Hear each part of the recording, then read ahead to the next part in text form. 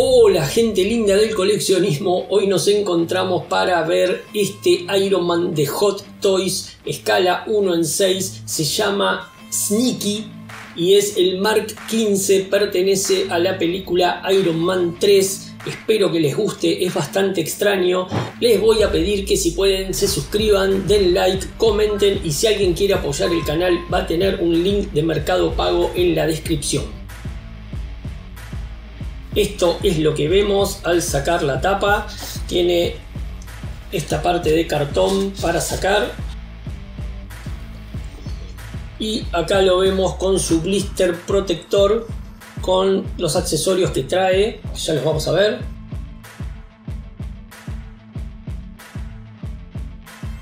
Y acá lo vemos dentro de su blister todavía, solamente trae cuatro manos intercambiables.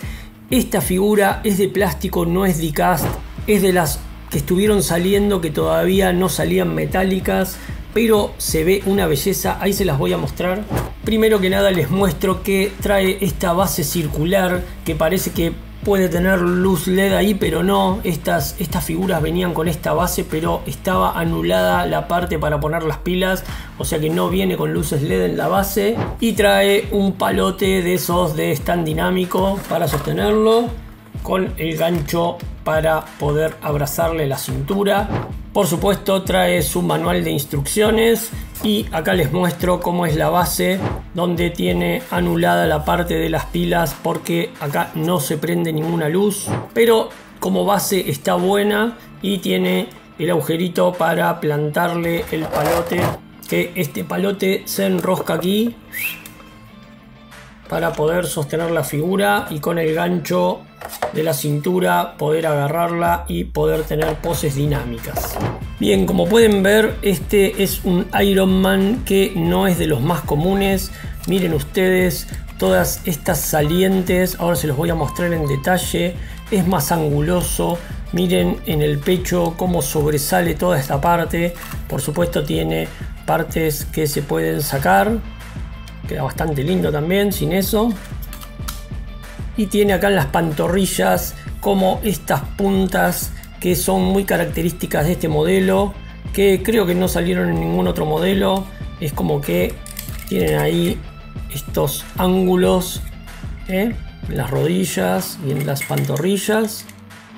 La verdad que como figura se ve muy linda. Miren ustedes que por más que sea una figura de plástico, Realmente los detalles son muy buenos, realmente increíble todos esos desgastes que tiene la figura. Miren ahí, todas estas partecitas. ¿eh? Como se ve ahí el desgaste en la pintura. Por supuesto totalmente articulada. Esta es la parte donde yo les digo que tiene estos ángulos. ¿eh? Todo ahí, todo en las pantorrillas. Ven cómo le sobresale para adelante y para atrás. O sea, como que de frente se ve una cosa más o menos normal, pero poniéndola de lado, miren lo ancho que es esta pantorrilla. Y realmente acá en la espalda también tiene su trabajito. Miren, tiene estas salientes. Quedan muy buenas. Ahí su denominación y realmente es una muy linda figura también difícil de conseguir es una figura difícil de conseguir seamos realistas.